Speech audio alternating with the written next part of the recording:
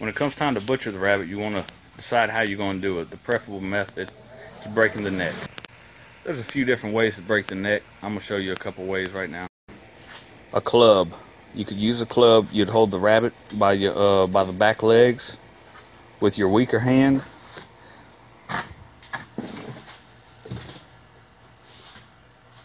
Right there, break the neck. Of course, you want to do a lot swifter. Broomstick method. Actually, I have a shovel. You place it behind the rabbit's head, step on it, both hands on the back legs, and pull up, and you'll feel it give. That's actually my preferred method. It's quick, it's pretty painless, snaps her neck, and then whenever you take the head off, you'll notice a lot of the blood come out. Another method is with the hand. You'd hold it again with your weaker hand, the back legs. You'd want to get them kind of uh, down a little bit, rub them, whatever. Hold them over your your leg, get them calm. And then with your stronger arm, you'd want to uh, karate chop back of the neck, and that would break it. Once you've killed the animal, you're going to want to hang it up. I made this little contraption. I got a piece of board on there to kind of keep it spread apart little slip knots. And I got it hanging from a roll-up door. And then five gallon uh, bucket to put under it. You probably don't want to have a little kid running around while you're doing it. Or maybe you do, I don't know.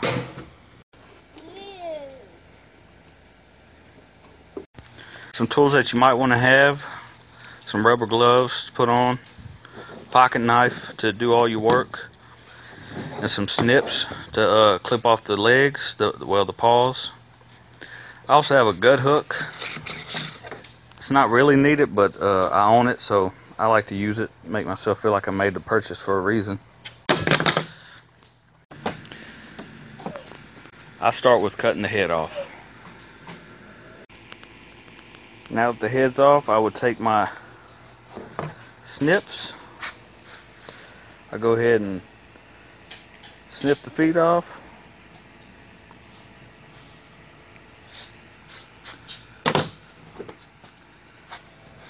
I would cut around under under your rope around the paws on both legs so that the, the fur would strip back.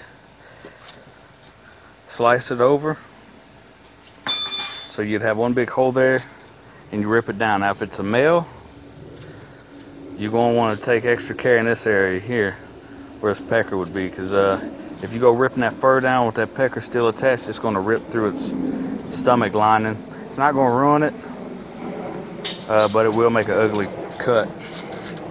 All right and then you just peel the peel the fur back. Boom. And there it is a big old hunk of rabbit meat